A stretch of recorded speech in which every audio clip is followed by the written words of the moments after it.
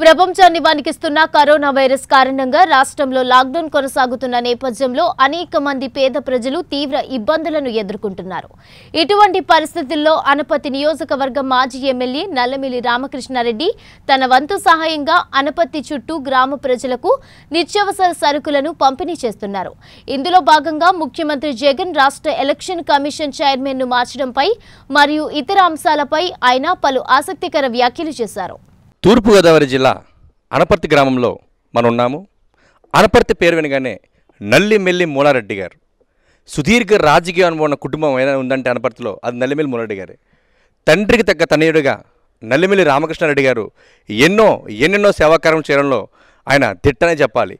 ఎందుకంటే ప్రభుత్వం వారిది కానప్పటికీ ప్రజలు కష్టాల్లో ఉన్నారంటే నేను సైతం అంటూ ఈ కరోనా వచ్చిన దగ్గర నుంచి ఒక్క రోజు కూడా ఆయన ఇంట్లో ఉండకుండా ప్రజల కోసం ప్రజల ఆకలి తీర్చడం కోసం రోజు ఏదో రకంగా ఒక నాయకుడి వేషం ఎత్తి ఆయన వెళ్ళడం జరుగుతుంది. ఇక్కడ రాజకీయం నాయకుడు లక్షణాలు తీసుకున్నట్టయితే నల్లిమిల్లి రామకృష్ణారెడ్డికి అది కొట్టిన పిండిగా మనం చెప్పుకోవాలి.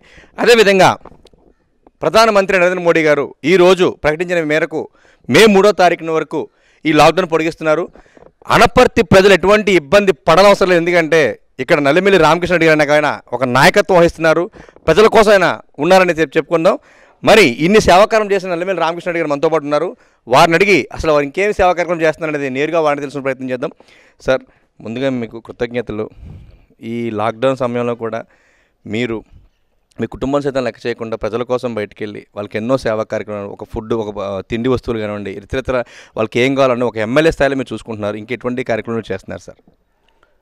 ఈరోజు తెలుగుదేశం పార్టీ అధ్యక్షులు నారా చంద్రబాబు నాయుడు గారి ఆదేశాల మేరకు ప్రతి గ్రామంలో కూడా పర్యటించి ప్రజల యొక్క యోగక్షేమాలు తెలుసుకోవడంతో పాటు ప్రజలకు ఏ అవసరాలు ఉన్నాయో తీర్చడం కోసం తెలుగుదేశం పార్టీ తరఫున నాయకులు కార్యకర్తలు అందరూ కృషి చేయాలనేది చంద్రబాబు నాయుడు గారి యొక్క ఆకాంక్ష. ప్రతిరోజు కూడా వారు మాతో వీడియో కాన్ఫరెన్స్లో సమావేశం కావడం జరుగుతూ ఉంది.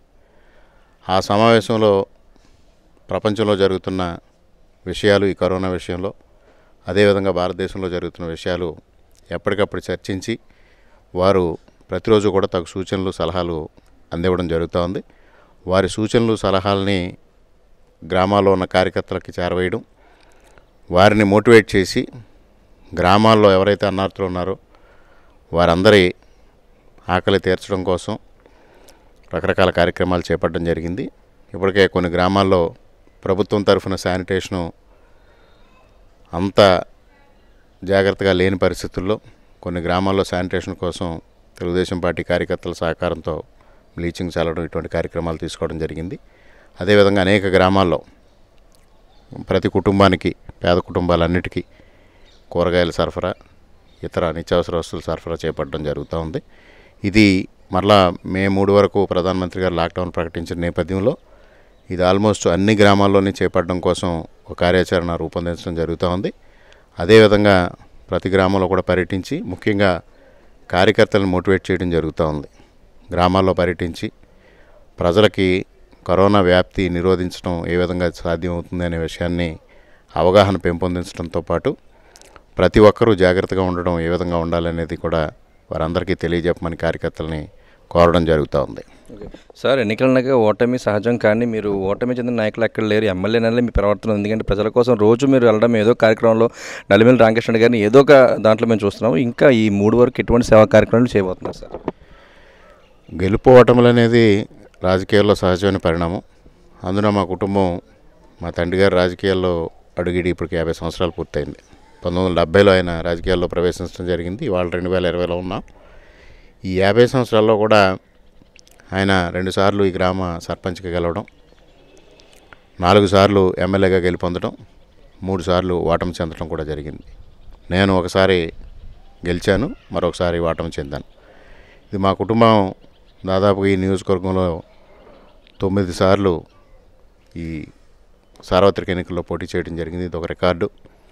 అందులో మేము ఐదు సార్లు గెలుపొందడం నాలుగు సార్లు ఓటమి చెందడం జరిగింది. అందుకు గెలుపోవటములు అనేది ఒక సహజమైన పరిణామం కింద మేము తీసుకునే అలవాటు. మరి గెలిచినా ఓడినా మా తండ్రి గారు ఎప్పుడు ప్రజా జీవితంలో ఉండి ప్రజల యొక్క సంక్షేమం కోసం ముఖ్యంగా కార్యకర్తల యొక్క సంక్షేమం కోసం కృషి చేయడం జరుగుతూ ఉంది. మరి పంతొమ్మిది వందల ఎనభై రెండులో తెలుగుదేశం పార్టీ పెట్టిన నాటి నుంచి మా కుటుంబం ఇవాళ ఇవాళ వరకు తెలుగుదేశం పార్టీతోనే ఉంది. భవిష్యత్తులో కూడా ఉండబోతా ఉన్నాం. అటువంటి పరిస్థితిలో ఈ ప్రాంతంలో మూలారెడ్డి గారు కుటుంబానికి నమ్ముకున్న కార్యకర్తల సంఖ్య చాలా ఎక్కువ. మూలారెడ్డి గారి కుటుంబంతో అనుబంధం పెనవేసుకుని ముప్పై ఏడు సంవత్సరాల నుంచి అనేక మంది తెలుగుదేశం పార్టీతో సేల్ చేస్తూ ఉన్నారు. వారందరి యోగక్షేమాలు చూడడం వారి సంక్షేమం చూడడం దాంతోపాటుగా ప్రజల సంక్షేమం చూడడం అనేది నా ప్రధాన విధి. అదేవిధంగా చంద్రబాబు నాయుడు గారు కూడా ఓటమి చెందినట్టు కాకుండా ఇవాళ ప్రతిపక్షంలో ఉండి కూడా ఆయన హైదరాబాద్లో ఉన్నప్పటికీ ప్రతిరోజు జూమ్ యాప్ ద్వారా మా అందరితో వీడియో కాన్ఫరెన్స్ నిర్వహించడం జరుగుతూ ఉంది. ప్రపంచంలో జరుగుతున్న పరిణామాలని చాలా నిశ్చితంగా గమనించి దానికి తగినట్టుగా అందరికీ సూచనలు ఇవ్వడం జరుగుతూ ఉంది. ఆ విధంగానే మేము ఇవాళ ఏదైతే అధికార పక్షం చేస్తున్న అరాచకాల పట్ల కానీ అధికార పక్షం చేస్తున్న అక్రమాల పట్ల కానీ నిరంకుశమైన విధానం పట్ల కానీ ఇవాళ ఇంత సంక్షోభ పరిస్థితుల్లో కూడా వాళ్ళు ప్రవర్తిస్తున్న తీరుని కానీ నిరంతరం ఖండిస్తూనే రెండో పక్కన ప్రజల క్షేమం కాంక్షించి ప్రజలకి ఏ విధమైన ఇబ్బంది లేకుండా చూడడం కోసం మా వంతు కృషి మేము చేయడం జరుగుతూ ఉంది. ఓకే. సార్ ఇప్పుడు చంద్రబాబు నాయుడు గారి ఇన్స్ట్రక్షన్స్ కానివ్వండి లేదా మీరు అనపర్తి ప్రజలకి లేదా రాష్ట్ర ప్రజలకి ఏ రకమైన సందేశాన్ని ఏ రకమైన ధైర్యాన్ని ఈ కరోనా నుంచి భయపడదని చెప్పే ప్రయత్నం చేస్తున్నారు? ఇది ముఖ్యంగా తీసుకుంటే ప్రకృతి విపత్తుగా మనం పరిగణించాల్సిన అవసరం ఉంది. మనం ఒక ఐదు వందల సంవత్సరాల చరిత్ర తీసుకుంటే ఈ ఐదు వందల సంవత్సరాల్లో ఇటువంటి విపత్తులు ప్రపంచం అనేకం చూసింది. దాదాపు పదిహేను సార్లు ఇటువంటి విపత్తులు రావడం జరిగింది. ప్రతిసారి కూడా తీవ్రమైన ప్రాణ నష్టం జరగడం కూడా జరిగింది. పంతొమ్మిది వందల పద్దెనిమిదిలో ఏదైతే స్పానిష్ ఫ్లూ పెద్ద ఎత్తున దాదాపు ఆ రోజు ప్రపంచవ్యాప్తంగా పది కోట్ల మందిని కబళించిన పరిస్థితుల్లో మరలా అంత పెద్ద విపత్తు వంద సంవత్సరాల తర్వాత ఈరోజు రెండు వేల పంతొమ్మిదిలో ఈ కోవిడ్ నైన్టీన్ పేరుతో రావడం జరిగింది. ఇటువంటి పరిస్థితుల్లో ప్రజల జీవన విధానంలో మార్పు రావాల్సిన అవసరం ఉంది. ఇవాళ జపాన్లో అతి తక్కువగా ఈ కేసులు నమోదు కావడం వెనుకున్న రహస్యాన్ని ప్రతి ఒక్కరు కూడా తెలుసుకోవాల్సిన అవసరం ఉంది.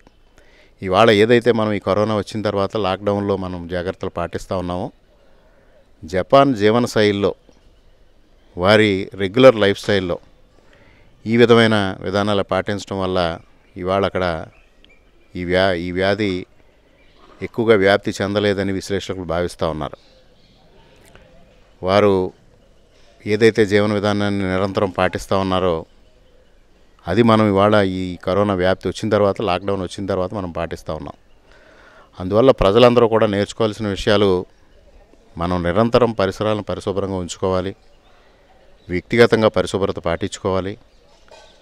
ఏదైతే సామాజిక దూరం పాటించాలని భావిస్తూ ఉన్నామో అది పాటించటం ఇవన్నీ మన రెగ్యులర్ లైఫ్ స్టైల్లో భాగం కావాల్సిన అవసరం ఉంది.